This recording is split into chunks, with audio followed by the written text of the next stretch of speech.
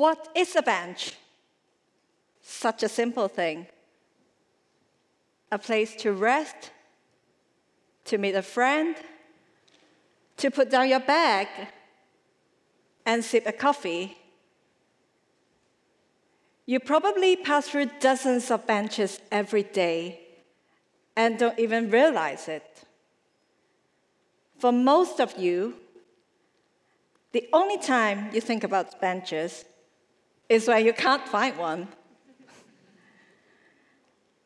I am a designer, and we designers like to think of ourselves as problem solvers, often seeing opportunities where nobody else does. In 2018, I spent a year thinking about benches, and I'll never see them the same again.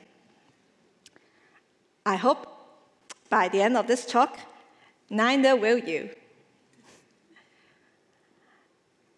I grew up with paint on my clothes and glue on my fingernails because I was always creating, problem solving, and building things together with my hands.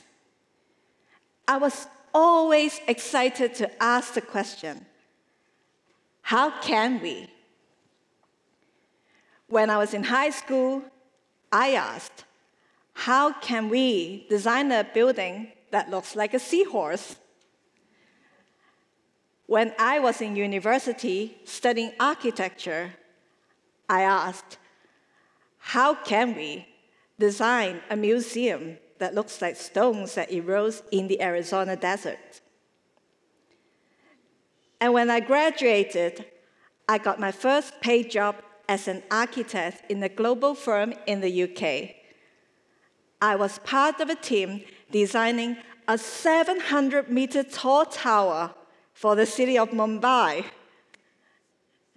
And when I returned to Hong Kong, I went on to design airports. Recognize this place?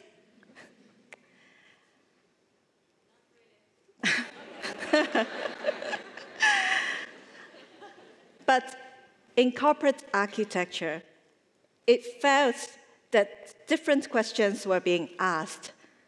How can we build the tallest, the biggest, the best? While these projects were big and impressive, they did not make me feel satisfied. In 2014, I entered a design competition for the Pacific Place shopping mall. I had the freedom to ask the question I really wanted to ask. How can we bring people together in a moment of delight? My winning project was the Curious Horns, wicked trumpets hanging from the ceiling in an atrium. People would walk underneath it, hear bits of music, or watch the videos inside.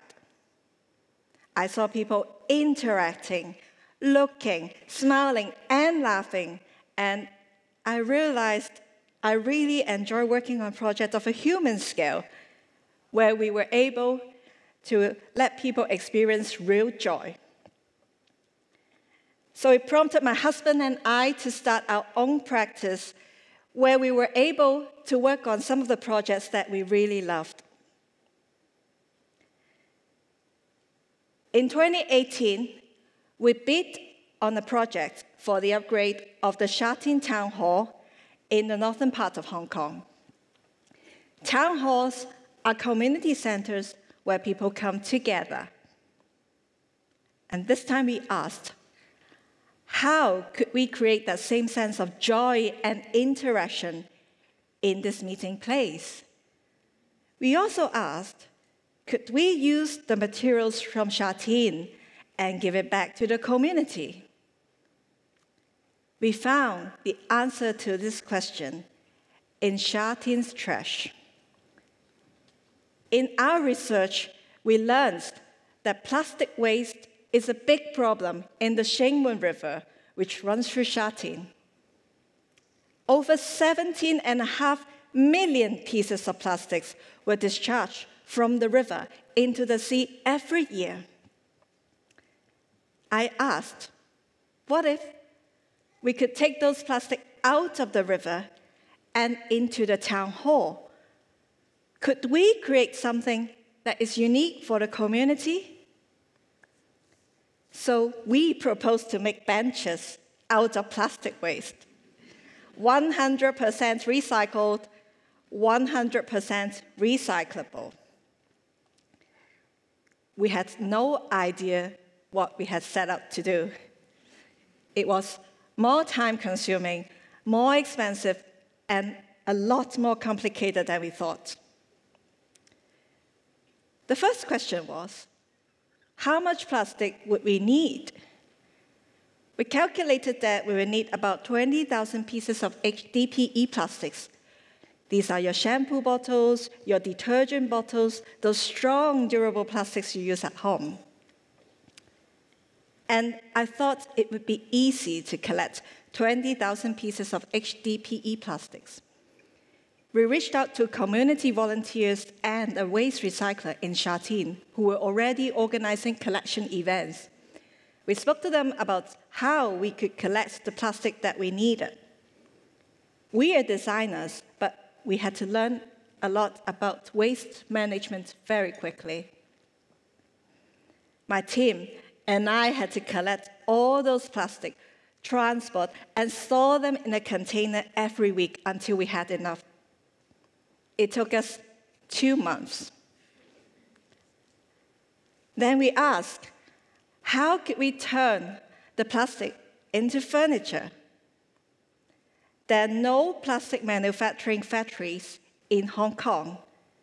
So, in order for us to export the plastic waste to a factory in mainland China, first we had to turn the plastic waste into pellets. At the factory, the pellets would then be remolded into the shapes that we wanted. So, who could make the pellets for us? This was another challenge. We tried four different local recyclers, and it was a five month emotional roller coaster ride. Time after time, we would send the sample pellets to mainland China to make sample furniture. And time after time, we were disappointed by the results.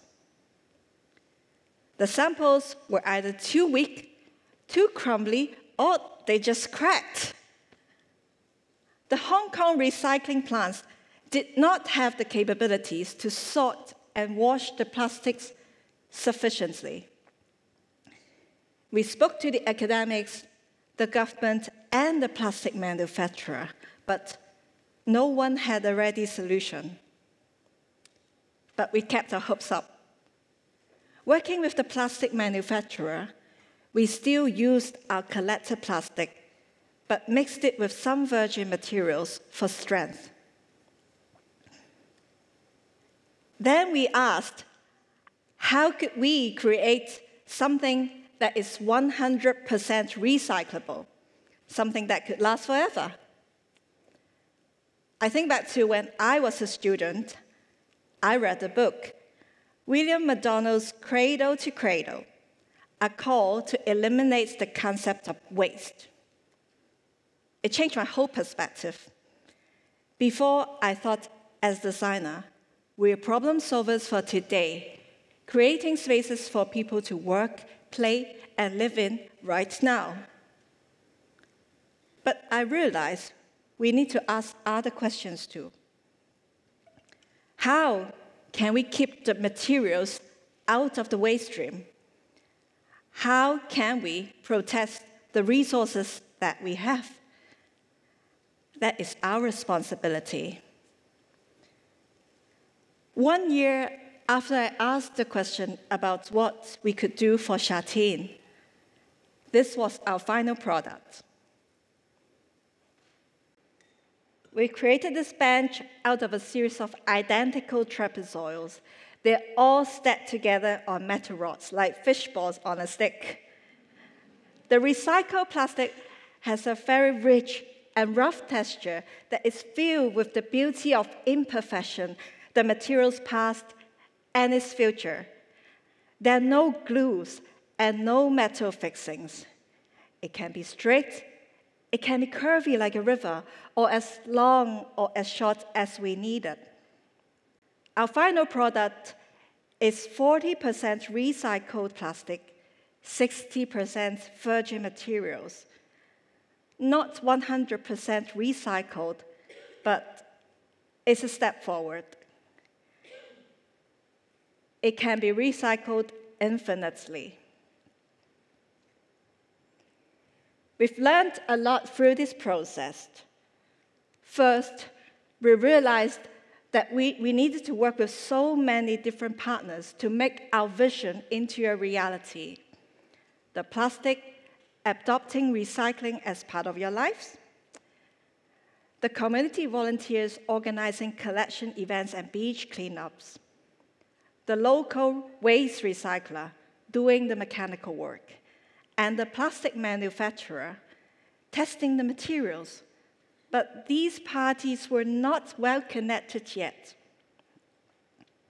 Second, the local recycling industry is still relatively underdeveloped. They did not have sufficient resources to invest in more advanced recycling technology.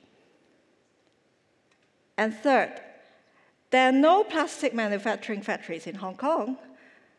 So it means high environmental and financial cost, offsetting the benefits of recycling. As a designer, we found our role in connecting the dots between the different parties to create something that is meaningful, functional, and beautiful. It is a work that is truly from the community, that is flexible, durable, that can last forever. We all know the three R's reduce, reuse, and recycle. And yet, only 11% of our 950,000 tons of plastic waste every year was recycled.